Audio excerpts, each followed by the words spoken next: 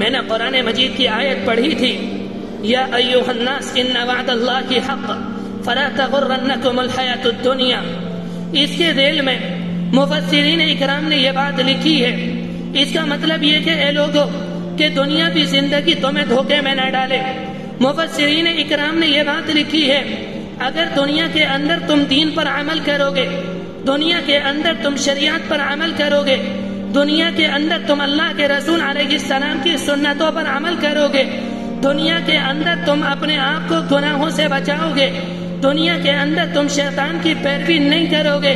चाहे तुम महलात में हो, चाहे तुम पक्के मकान में हो, चाहे तुम कच्चे मकान में हो, चाहे तुम छोपड़े के अंदर हो, चाहे तुम छप्पर के नीचे हो, चाहे तुम एक पन्नी के नीचे हो, लेकिन तुम्हारे अंदर दीन हो तुम शरीयत पर अमल करने वाले हो। तुम अल्लाह के रसूल सलाम की सुन्नतों पर अमल करने वाले हो। आखिरत तुम्हारा मतलूब हो, दुनिया तुम्हारा मकसूद न हो तो इंशा अल्लाह ये दुनिया तुम्हें धोखा न दे सकेगी। ये बात मुफसरीन इकराम ने लिखी है। अल्लाह तबारक वाली अपने बंदों से कहता है, इस आयत के अंदर मेरे बंदो, ये दुनिया की चमक दमक ये दुनिया की खूबसूरती, ये दुनिया की जेबो जीनत ये दुनिया की टीप टाप, तुम्हें अल्लाह और उसके रसूल से गाफिल न कर दे। ये तुम्हें नमाज़ से गाफिल न करे। ऐसा ना हो तुम तिजारत में मशगूल हो जाओ। तुम अपने बीवी बच्चों में लग जाओ। तुम अपने कारोबार में लग जाओ। तुम नमाज़ को छोड़ दो। तुम जक़ात देना छोड़ दो। तुम हराम के ऊपर आ जाओ।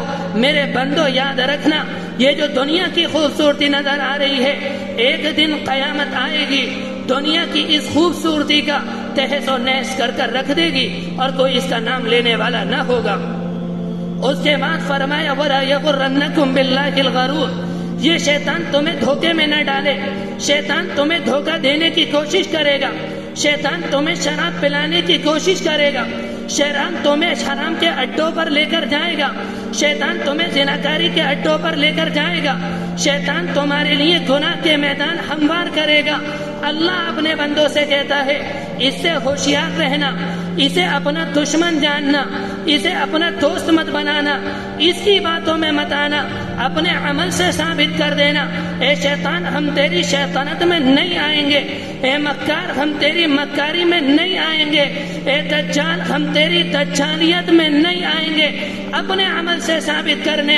अगर दुनिया के अंदर अमल करेंगे, अल्लाह के रसूल सलाम की शरीयत के मुताबिक हम अमल करेंगे। और अगर दुनिया के अंदर किसी की पैरवी करेंगे, अल्लाह के रसूल की पैरवी करेंगे, दुनिया के अंदर अगर किसी के नक्शे कदम पर चलेंगे तो अल्लाह के रसूल के नक्शे कदम पर चलेंगे और किसी के नक्शे कदम पर नहीं चलेंगे।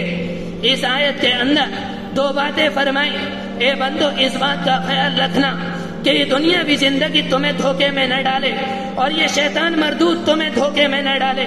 इसलिए कि दुनिया के अंदर असल चीज़ दीन है, असल चीज़ शरीयत है, असल चीज़ अल्लाह के रसूल सलाम की सुन्नतें हैं। अगर हम इन पर अमल करेंगे, ये सारी की सारी बातें कल हमारी नजात का ज़रिया बनेंगी।